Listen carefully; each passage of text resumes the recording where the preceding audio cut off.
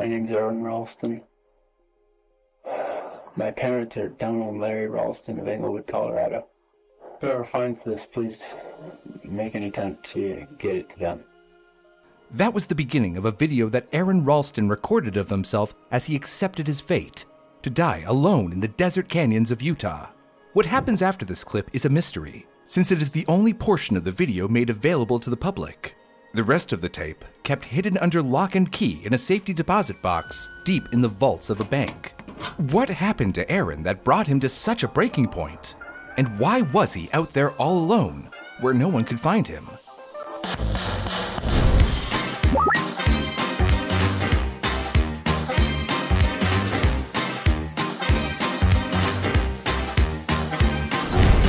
It all started when Aron was only nine years old, when he read about an incident on Mount Everest.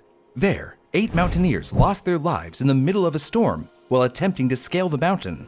Aron found himself wondering what he would do in such a situation and became interested in climbing himself. Of course, at the time, Aron had no idea where his passion would lead him to be trapped in an absolute nightmare. In the nightmare that is staying safe on the internet, many of us have probably felt trapped into accepting that private personal information like your email address, home address, and phone number is available to whoever wants it without you knowing, let alone your consent. But now, thanks to this video's sponsor, Aura, we have a painless solution. Ever stumbled upon your own private details online where they shouldn't be? In today's world, data is a valuable asset, and data brokers trade your info with those pesky robocallers and spammers. They're legally required to remove your information if you ask them to, but make you jump through hoops, which is how Aura can help. Aura identifies where your information is being exposed and submit opt-out requests on your behalf, so that you don't have to do all the legwork. Get an alert immediately when there's suspicious activity on any of your financial assets, online accounts, or personal data. Aura combines internet security app features like VPN, password management, antivirus, identity theft insurance, and more, all in one service so you don't have to pay for several different apps. Get a two-week free trial of Aura with our link in the description at aura.com brew. It's easy to set up, and once you do, it'll keep you and your family safe online. In 1997, Aron graduated from Carnegie Mellon University with a double major in mechanical engineering and French, then took a job at Intel. Throughout his career and moves through Phoenix, Tacoma, and Albuquerque, he kept his love of rock climbing and even volunteered with a local search and rescue team. But as time went on, Aron realized that he wanted to pursue his passions full time. In 2002, Aron took the leap. As a first step, he moved to Aspen, Colorado, and took a job at a local retail store Ute Mountaineering. He had a new goal climb all of Colorado's 14ers, the 59 mountains in Colorado that are 14,000 feet or taller. Specifically, Aron hoped to claim the unprecedented achievement of climbing all the 14ers both on his own and in winter. And as an extra accomplishment, he also reached the summit of 20,320 foot Mount McKinley, now known as Denali, by June of that year. Surprisingly, it wasn't during this dangerous expedition that Aron had his first brush with death. It was months later when Aron planned a backcountry skiing trip on central Colorado's Resolution Peaks in February 2003.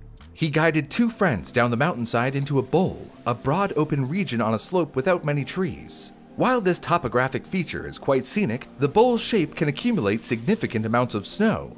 While the three were gathered in a cluster of trees for a moment, a quiet whoomph sounded out. The underwhelming sound was no amusing noise, however, but the unassuming ignition of a terrifying avalanche that swept them hundreds of feet down the mountain. Aron was buried up to his neck, and one of his friends was buried completely.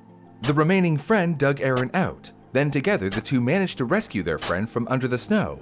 In Aron's own words, they shouldn't have survived, but they did, even if their friendship didn't. He had been the one to lead the three out there, after all. After a brush with their own mortality, some would have retired from the adventuring career, or at least taken a break from it. But in a mere three weeks, Aron was already off on another trip. He had been planning a mountaineering expedition with some friends, but when it was called off, Aron decided to make a last minute trip instead. A spontaneous decision he would soon come to regret. Normally, Aron didn't go anywhere without letting his roommates know exactly where he was going, and left a detailed schedule and itinerary behind, just in case. But this trip was so last minute that Aron didn't have any plans beyond the one word he left behind Utah. Aron's impromptu trip was a five day journey, during which he decided to travel through the Blue John and Horseshoe Canyons. Once he arrived, he decided to hit Blue John Canyon first. Once he got there, he locked up his bike and started to head in. On his way, Aron ran into two women, and the three got to talking. They became instant friends, and the two invited Aron along to have lunch with them. Had he said yes, things may have ended very differently. But Aron had other plans. He wanted to get into the canyon. As Aron climbed down the claustrophobic walls of the canyon, he came to a chockstone, a fancy word meaning a rock wedged in a vertical rift that he could step onto and then drop onto the ledge beneath. Aron kicked it to see if it would hold his weight, and when he was satisfied it would, he climbed onto it and dangled down. Then he felt it rock scraping against rock, otherwise known as trouble. He dropped down, and when he looked up, he could only see the bus tire sized stone he had just been dangling from tumbling towards him. He couldn't move back thanks to a small ledge behind him, but there was no way to avoid what was coming next. The rock struck his left hand, but he was able to pull it away before he was too severely injured. But then it bounced and smashed into his right hand, pinning it against the canyon wall. The rock pulled it down another foot, crushing it between a rock and a hard place, quite literally. Aron was trapped. Earlier in his life, Aron had found inspiration in the Jon Krakauer books. Into the Wild was the story of Chris McCandless's life and tragic death, living alone in the wilderness of Alaska without money or any connection to the outside world. And Into Thin Air, a retelling of the 1996 Everest disaster that Krakauer himself was a part of. Aron enjoyed the thought of living out of the back of a truck in the wilderness and wondered what he could do in such life threatening situations. And now, Aron would find out. His curiosity had become a horrifying reality. There, in the canyon, Aron was stuck facing the rock that held his arm in place. He was stuck between two jagged canyon walls, feet firmly planted on the ground. And to make matters worse, he was alone. No one knew where he was, and he was panicking. First, Aron tried to lift the boulder off of his hand, but it wouldn't budge. Then, the realization that he was thirsty set in. But Aron's water pouch was already empty, and his other water bottle was in his backpack. The backpack that was currently slung over both his shoulders. Getting the strap off his left arm was easy enough, but his right arm proved to be more of a struggle. Obviously, getting it past the boulder wasn't an option, so he loosened the strap enough that he could fit it over his entire body, then shifted through it with some awkward maneuvering. But after a short time, he'd done it. He had claimed his prize and got a taste of fresh water, then immediately drank a third of his water supply. Aron managed to catch himself before it was too late and realized he had to calm down if he was going to make it through his ordeal. After taking a moment to inspect his situation, Aron realized that he couldn't feel his right hand and that, from what he could see, it was already sickly gray. And if that weren't bad enough, his inventory wasn't exactly a wish list for someone trapped in a survival situation. In addition to the water in his bottle, he had some food, a CD player, some CDs, AA batteries, a camcorder, a digital camera, a headlamp, a multi tool, some climbing rope, a harness, and some rappelling equipment. But at least he had something to drink.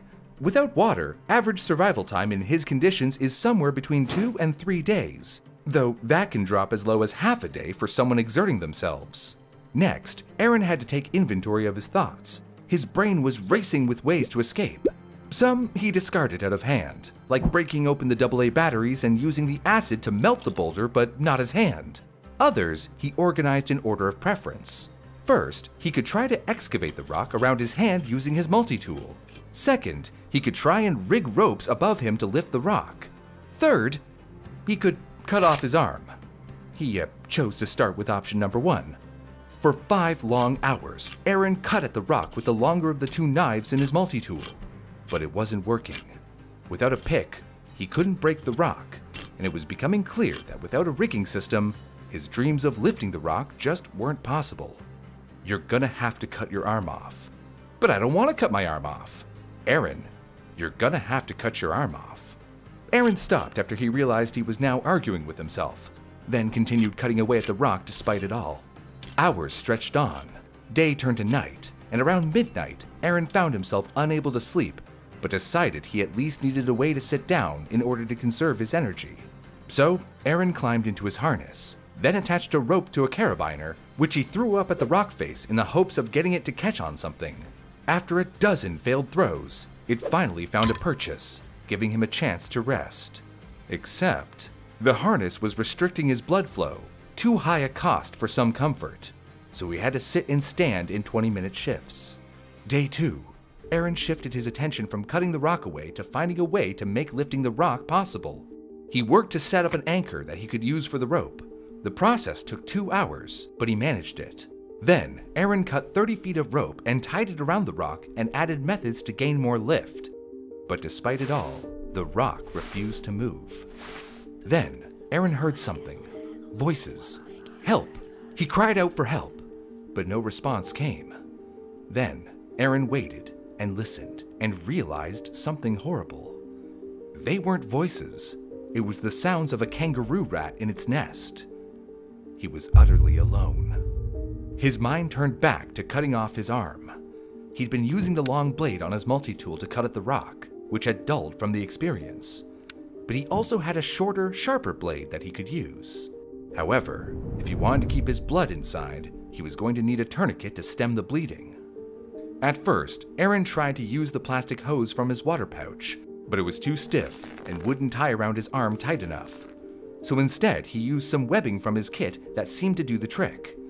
With a tourniquet ready, he went to start cutting, but just couldn't get past the mental block. Day 3. Aron's other attempts to escape had so far failed, and his mind turned back to amputation. As he mused on it, he realized that he wasn't confident in the tourniquet he had created, so he created something else. Taking the insulation from his CamelBak, Aron found that it was a perfect candidate and used it instead.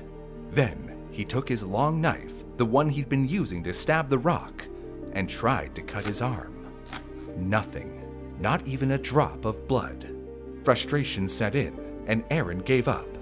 Later that day, he prayed and then offered a deal with the devil just in case.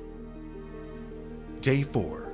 Aron went to take a drink from his last supplies of water, but dropped the bottle and spilled some. His morale was fading, but he started to wonder could the police use his credit card purchases to track him? He had bought some supplies on the way into Utah. It was possible that they might track him down. Except he realized that he had paid cash. There were no records to track. And yet, somehow, Aron managed to improve his morale. He spent time reminiscing about good times and bright memories. He took out his camcorder and, surprisingly rejuvenated, recorded a farewell message to his loved ones. My name's Aron Ralston. My parents are Donna and Larry Ralston of Englewood, Colorado.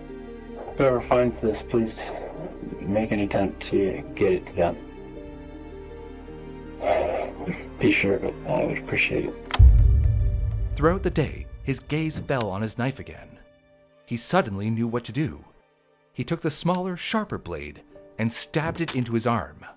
For a moment, he just inspected it, examining it, noticing he couldn't feel it under his skin. And then he started to cut. He managed to get through most of the arm, but found that he couldn't break the bone, even with the sharper blade. Upon making this realization, he decided to take another drink and finish his water supplies. Day 5. By now, the sleep deprivation was hitting Aron hard. He was experiencing trances and visions. He had been awake for 96 hours now, and his mind was starting to wander onto less likely means of escape. One idea was to break the boulder open by using another rock as a wrecking ball. As the hours stretched on, he left more videos for his loved ones, detailing what he'd like done with his belongings, and asking his family to spread his ashes through different locations. A spot on the Rio Grande, Big Sur, Havasupai Creek. That night, he drifted into another trance. In this one, he walked through the canyon wall and into a living room. A child was there, his son, he picked up the kid and set him down on his shoulders. They danced and laughed, and Aron balanced his son with his left hand and his right stump. Then he was back in the canyon, but with a new motivation. He was determined to escape. Day 6. It didn't last. Despite his motivation the night before, now Aron's energy is gone. He viewed himself as a zombie, already gone but still moving anyways. He picked up another rock then bashed the boulder with it. The zombie like feeling wore away, replaced by an animalistic fury as he smashed the boulder until his hand burned with pain. Next, he took his dulled, long knife and began clearing the debris away from his right hand only to accidentally stab it with the blade. The knife that had failed to cut his skin mere days before now took a gash of skin away with it. Rotten skin. His hand had already begun rotting, its circulation cut off. Aron took the knife and poked his right thumb with it, and watched as gas started to escape. And then, there was no more hesitation. Aron wanted his arm gone. It wasn't his arm anymore. It was rotten garbage, trash to be thrown away. He lashed out. He was thrashing about, struggling, twisting, trying to break free, and then a bend. Feeling that unnatural bend, Aron had a realization. He may not have been able to cut through his bone, but he could break his bone using a rock. A big one. The rock that was currently holding his arm down, in fact. Using it for torsion, he could finally be free. Aron twisted and bent his arm until finally he heard it. Pop! A pair of pops, like cap gun shots, rang out in the canyon. His bone was broken, and now he could finally escape. The horrifying experience of cutting away a rotting arm was euphoric to Aron. After he had already given up and he had thought himself already lost, he had found a way to escape, to live, so he took it. Once his arm was gone, the hard part still loomed over him. He still had to get out of the canyon. He couldn't just easily climb down to the canyon floor, after all. He had to rappel down instead. But first, he applied his makeshift tourniquet to hold the wound closed to make sure he had the chance to escape. Then, when he went to cast down a rope to the floor below, it slipped and he almost stranded himself. As the rope slid over the edge with a terrifying zzz, Aron managed to catch it with his foot at the last moment. From then on, Aron kept telling himself, no stupid mistakes. He'd come this far. He had to make sure he got out. So he made sure his harness was double backed, passing the harness strap through a buckle twice to secure it and make sure it wouldn't come loose on his descent and drop him to the ground below. Once it was secure, he hooked himself to the line and rappelled down. Finally, Aron was free of the ledge that had been his prison for five long days. Now he was on the canyon floor, liberated from one ordeal, but in the midst of a new one getting out of the canyon. First, he had to figure out the correct direction to travel in order to actually escape the canyon. But even once he had determined that, there was another problem. The moment he had severed his arm, a countdown timer had begun, ticking ever closer to zero with every drop of blood he lost. His makeshift tourniquet had sufficed so far, but he was still in danger of losing too much blood to even make it to medical support. And yet, Aron pushed on. Somehow, wounded as he was, Aron managed to scale the 65 foot canyon wall and reach the ground above. But Aron was thirsty, and the harsh light of the sun must have made the walk even more unbearable than the blood loss was. But on his way, he had a stroke of good fortune. As he stumbled forwards, away from the canyon and through the boiling heat of the sun, the countdown timer ticked ever closer to the moment he had lost too much blood to keep going. But as he wandered, he came across an unexpected salvation. Aron had stumbled into a family of three Dutch tourists who, understandably, were concerned about the dazed man bleeding and missing an arm. The three gave him food and water, and while the mother and son went to get help from the authorities, the father stayed with Aron until a search and rescue helicopter arrived. His family, worried after such a long absence, had raised the alarm and started a search for the mountaineer. Now, finally, Aron had found salvation. As medics evacuated him from the area, Aron realized that he likely amputated his arm at the perfect time. Any earlier, and he would have bled out. Any later, and he might not have had the strength to make it out of the canyon.